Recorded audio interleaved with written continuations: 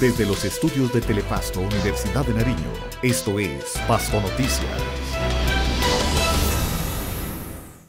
Muy buenas noches, amables televidentes de Telepasto Mirada Sur. Bienvenidos a Pasto Noticias. Saludo a todos los seguidores a través de Claro 930, Legón Telecomunicaciones, Canal 97, TV Colombia Digital, TVNet, Tamovisión y un saludo especial a todos los televidentes de nuestro canal nacional Zoom.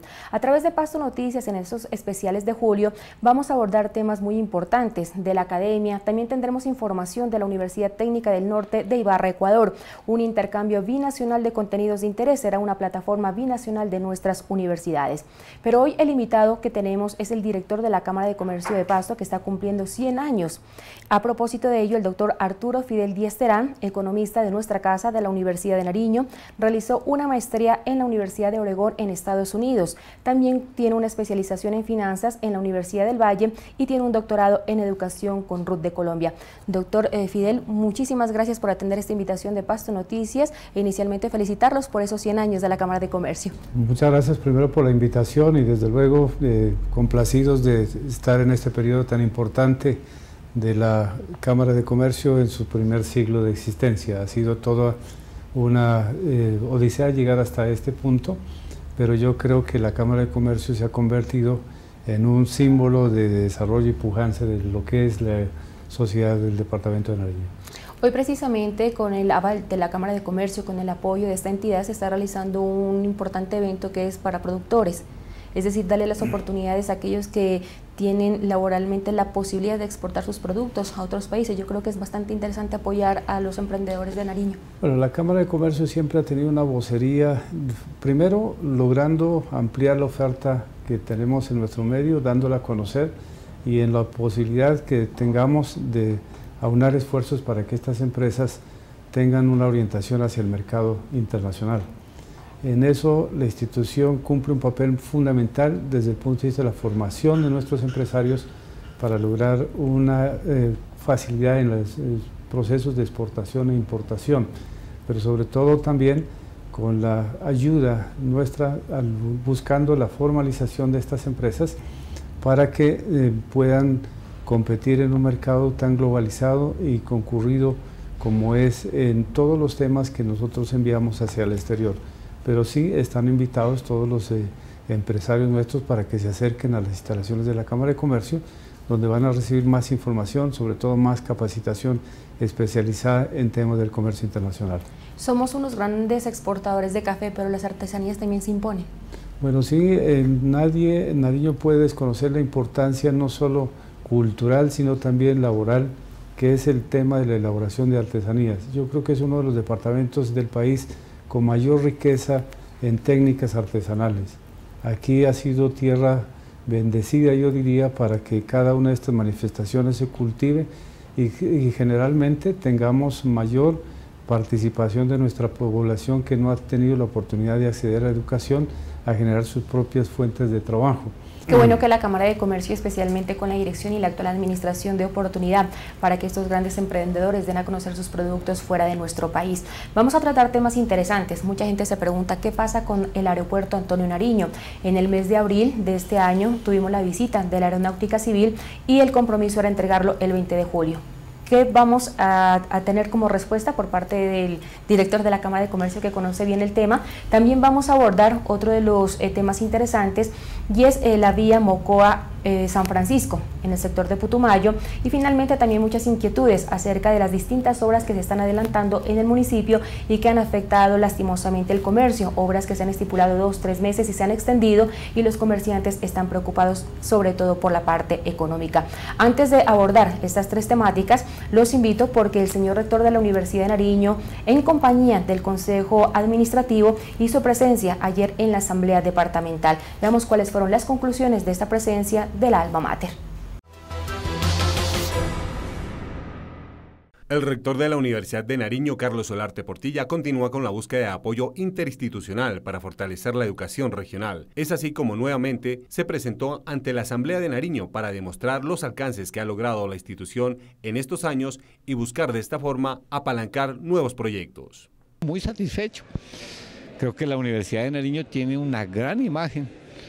Eh, entre la sociedad y entre quienes la representan, como los diputados de la Asamblea del Departamento.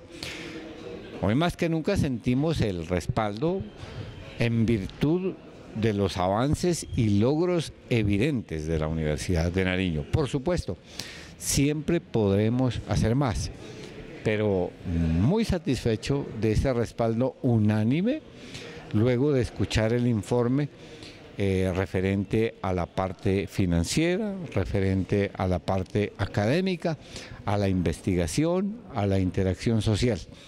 De tal suerte que lo que hemos acordado me parece muy importante. Eh, primero, eh, un aporte por parte del departamento por concepto de lo dispuesto en la ley 30, no inferior a lo que la gobernación de Nariño aportó en la presente vigencia, con la posibilidad de un incremento. Eso me parece a mí que es eh, bien importante. Segundo, el acompañamiento de la Asamblea ante las instancias nacionales para la creación de la sede seccional del Pacífico en Tumaco, pero que sirva eh, para fortalecer la educación superior en todo el Pacífico.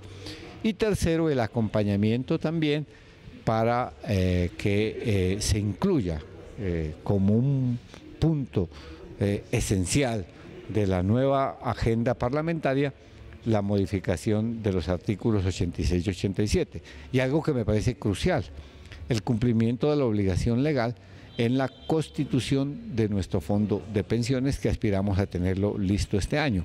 De tal manera que eh, satisfecho eh, primero de, los comentarios eh, positivos en torno a la labor que ha hecho históricamente la universidad y a los avances evidentes en los últimos años y también con el compromiso como corporación para que la Universidad de Nariño pueda mejorar sus finanzas y con ellos seguir fortaleciendo los procesos de calidad, inclusión, pertinencia y reconocimiento social. Por su parte, Heriberto Campás, diputado por la costa, insistió que no se puede perder los recursos de un proyecto tan importante que ha cerrado las brechas de la inequidad en el Pacífico, como es la sede de la Universidad de Nariño, donde se consolida una esperanza de paz para la región. El tema de la educación es un tema, precisamente hoy se está en la Asamblea debatiendo ese tema. El tema de la construcción de la nueva sede en Mar Agrícola es una responsabilidad directa del municipio de Tumaco y por, por eso vamos a sesionar el 11 y 12 eh, a Tumaco porque el municipio nos tiene que presentar un informe claro, contundente, por qué una obra que ya tenía que haber sido entregada no se ha entregado. La interventoría ha sido irresponsable el 100%, han sido unos bárbaros mezquinos con la educación de la costa y por eso le estamos pidiendo a la Contraloría, Procuraduría y Fiscalía que se empodere de este tema y que hagan las investigaciones correspondientes y aquellos bárbaros que están atentando contra la educación, que es un derecho constitucional de nuestros jóvenes y de toda la gente de la costa pacífica para inclusive disminuir el conflicto. Eh, tienen que ser castigados, tienen que ser sancionados y si en esto hay implicaciones de la administración municipal deben responder por ello y la asamblea en pleno nos hemos empoderado de hacerle el seguimiento permanente y las denuncias correspondientes a todo nivel a esta construcción porque no tiene presentación que unos recursos que fueron asignados para construir una obra tan importante que en el bolsillo de tres o cuatro bárbaros que han venido desangrando a la costa, desde, los interventores hasta los contratistas, eh, digamos, de esta obra. El rector Carlos Orarte también manifestó que se trabajará por los municipios del norte siempre y cuando se tengan los recursos y el respaldo de las administraciones locales de estos municipios es natural, ah, entendemos la preocupación y la aspiración justa del norte de Nariño de tener también allí una eh, sede.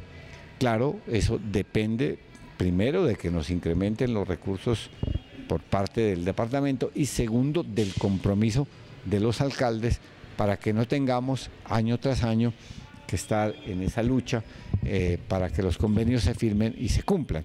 Aunque debo ser claro, y en esto sí soy absolutamente enfático. Hemos encontrado un magnífico respaldo en general eh, de los alcaldes, eh, así sea con unos recursos que no representan sumas cuantiosas, sino sirven para que nosotros sigamos haciendo presencia en todas las regiones del departamento. Se espera que la Administración Municipal de Tumaco acompañe y viabilice lo más pronto posible la construcción de esta nueva sede de educación superior, la cual ya tiene recursos asignados para su dotación. Regresamos con ustedes televidentes a este especial de julio de Pasto Noticias con el invitado el doctor Arturo Fidel Díaz Terán, director de la Cámara de Comercio de Pasto. Dejábamos tres temas importantes el aeropuerto Antonio Nariño, la gente se pregunta cuándo van a entregar estas obras. Si recordamos, eh, director, el mayor general Gonzalo Cárdenas Maecha hizo una visita para hacer la veduría de cómo avanzaban las obras del aeropuerto Antonio Nariño. Él es el secretario de Sistemas Operacionales de la Unidad Administrativa de la Aeronáutica Civil. ¿Qué le podemos decir a la comunidad frente a esta obra tan importante? Bueno, ese ha sido uno de los grandes eh, desafíos que ha tenido el pueblo nariñense por el incumplimiento de las principales obras que se han identificado como estratégicas para el departamento de Nariño.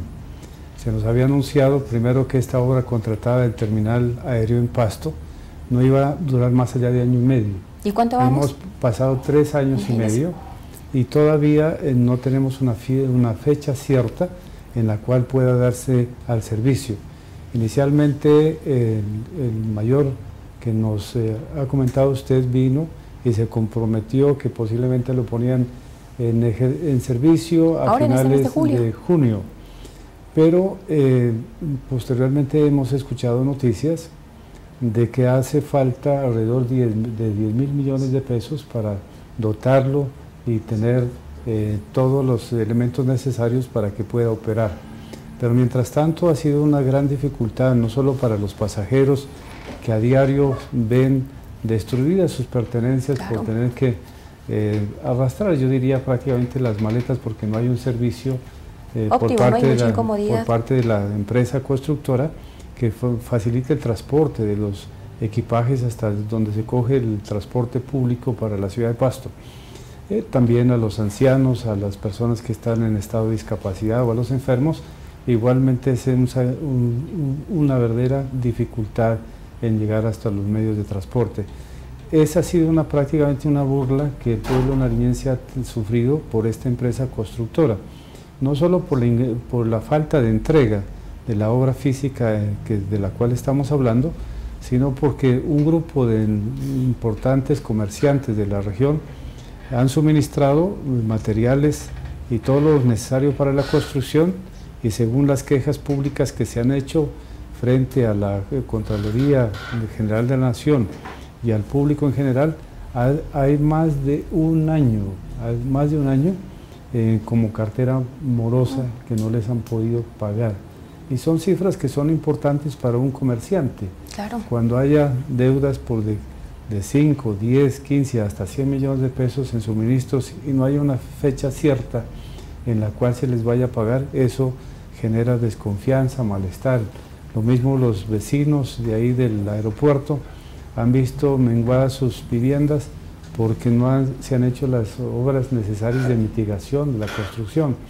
Todo esto ha sido puesto en conocimiento de las autoridades, especialmente la Contraloría General de la República, para que sigan siendo los principales observadores, pero ya eh, tomen acciones contundentes con el incumplimiento, porque el presupuesto que se ha eh, tenido allí y ya supera va fácilmente los 28 mil millones de pesos para una obra que si bien es importante no es monumental, no es grande, es una edificación sin mayores eh, aditamentos, diseños, son como 5 mil metros cuadrados que se han construido, si usted divide esa cifra que he mencionado, eh, de 28, como eh, algunos se calculan hasta 38 mil millones de pesos, entre los 5.000 da el metro cuadrado construido más costoso en el sur de Colombia.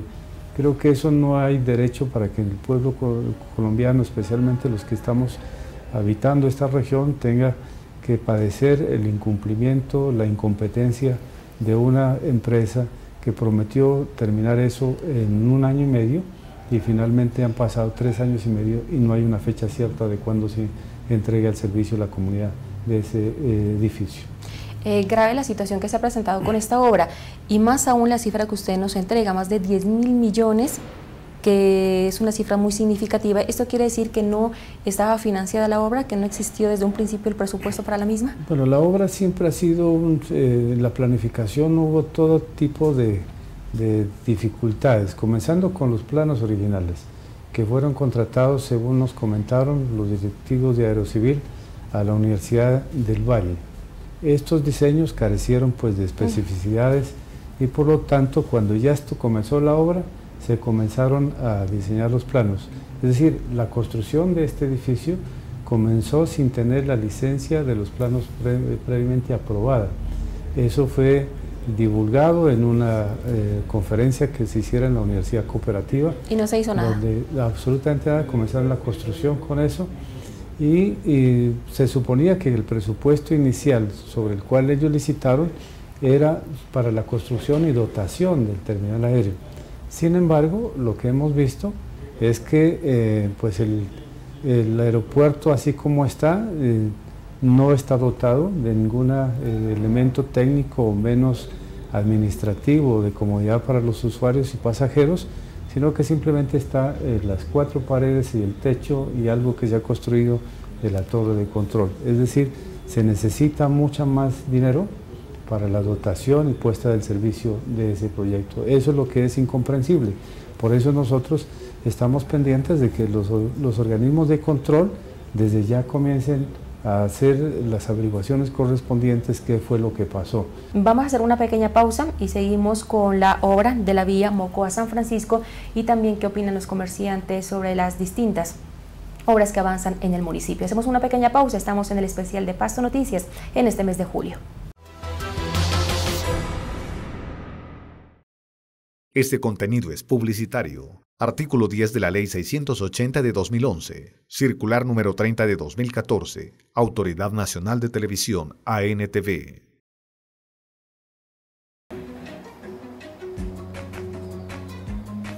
¿Aló? Hola amor, ¿cómo estás? Hola mi amor. Amor, no se le vaya a olvidar comprar la leche. Vea que la necesito para hacer unas cosas en la casa. Sí, mi vida, sí. ¿Llevo los documentos a la oficina? Sí, amor, sí. Sí, sí. ¿Ya pagó la factura de Sedena? ¿Qué? No te quedes sin el servicio de energía eléctrica. Cancela a tiempo tu factura. Sedenar. Somos energía para tu bienestar. Viva del 10 al 15 de julio, la décima feria artesanal Pro Madres y Padres Cabeza de Familia y Adultos Mayores de la región. Coliseo Cubierto Sergio Antonio Ruano, las mejores artesanías de nuestras manos narienses. Gran desfile artístico, comida típica, bingo solidario y mucho más. Décima Feria Artesanal, Pro Madres y Padres Cabeza de Familia y Adultos Mayores de la región. Invita el programa de labor social La Voz del Pueblo. Oiga,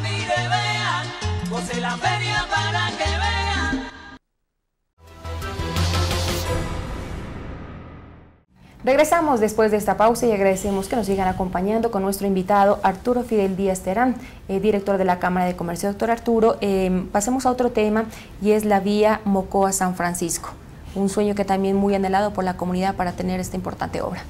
Pero yo creo que este es uno de los proyectos estratégicos también que le sirven más a Nariño que al mismo Putumayo. La vía se construye en el departamento del Putumayo, pero esta eh, es la vía transversal la que le permite desde el Pacífico, desde Tumaco, si está bien, a llegar directamente al Huila.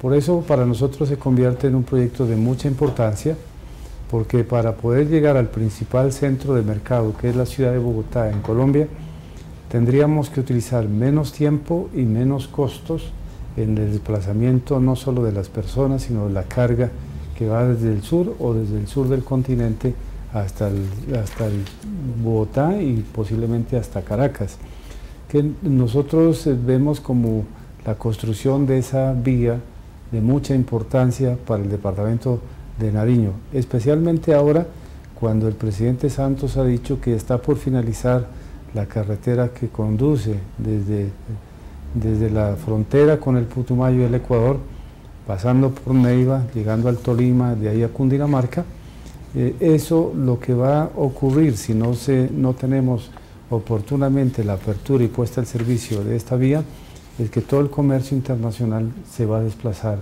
por esa parte del país. Y Nariño quedará pues de frontera, pero no una frontera viva como la que tenemos ahora, que genera tantas oportunidades de inversión y de negocios en este tramo del sur de Colombia, porque las distancias son menores y más plano entre el Ecuador, Lago Agrio, la, parte del Putumayo, llegando al Huila. Ese es un territorio plano. Si, eh, un ejemplo, si, una persona se va de aquí por el Putumayo hasta Bogotá, en el mejor de los casos está en 10 horas en la ciudad de Bogotá. Y si va por el valle, pasando por el Armenia, por el Tolima, prácticamente son 14 o 15 horas de, viaje. Esta es una obra que se licitó hace más de 10 años, está en construcción. Eh, inicialmente fue el mantenimiento de, de la carretera que estaba un poco destruida, desde Tumaco hasta Pasto, y de ahí se suponía que iba la continuación, la construcción y apertura y mantenimiento de la nueva vía de Pasto hacia Mocoa. ¿En qué fase se encuentra? Esta, eh, pues de Tumaco, eh, según eh, hemos hablado con la directora de la Cámara de Comercio de Tumaco, ya fue entregada a pesar sin tener las condiciones establecidas en el contrato de ejecución de esa obra, con muchas falencias, pero de todas maneras está transitable. En el caso del, de Pasto Mocoa, el trayecto entre el Encano, La Cocha y Santiago, pues el gobierno anterior insistió muchísimo en que se pavimentara la actual carreteable que nos conduce hasta el valle de Sibundoy. Pero ese es un tramo que si bien le sirve a la ciudadanía desplazarse por allí, nunca va a ser eh, la carretera para transportar carga pesada. Tanto las curvas que existen no le permitirían a tractocamión eh, desplazarse por ese sitio. Esto es Pasto Noticias y vamos a cerrar con este tema sobre la preocupación que existe de las obras que se adelantan también en la ciudad capital y los comerciantes se han visto afectados pues, en la parte económica. Bueno, ese es, nadie niega pues que Pasto tiene una infraestructura muy obsoleta, ¿no? especialmente el del centro histórico de la ciudad, que necesariamente hay que reemplazarse y que hay que modernizarla, porque cualquier ciudad, eh, en la medida que va creciendo, necesita más servicios urbanos para el desarrollo de toda la actividad humana. Sin embargo, eh, vemos con mucha preocupación eh, la tardanza en la ejecución de las obras. Alguien me, hablaba de la siguiente comparación.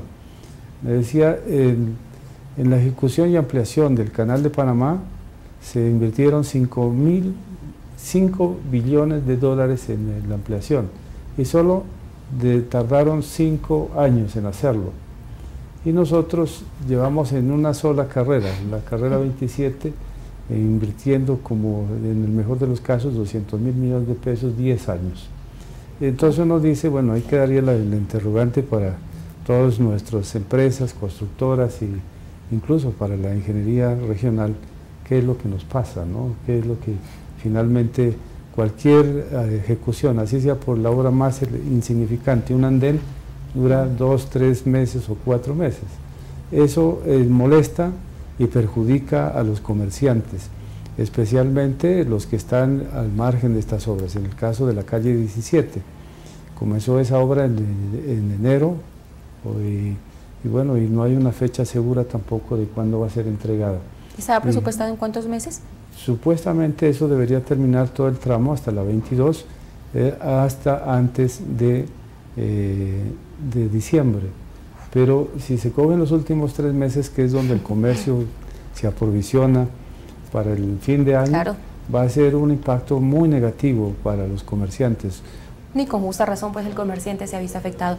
Doctor Arturo Fidel Díaz, muchísimas gracias por haber estado en Pasto Noticias, esperamos tenerlo en otra oportunidad y de verdad felicitarlo por su gestión, por su administración y seguir con todos estos eventos en este centenario de la Cámara de Comercio. Muchísimas gracias a ustedes por esta magnífica oportunidad. A ustedes, amables televidentes, muchísimas gracias por acompañarnos. Recuerden que existe una variedad de programación de Telepasto, Mirada Sur, continúe con nosotros y si quiere enterarse de todo lo que sucede de nuestra alma mater, ingrese a la página www.udenar.edu Universidad de Nariño con acreditación institucional de alta calidad.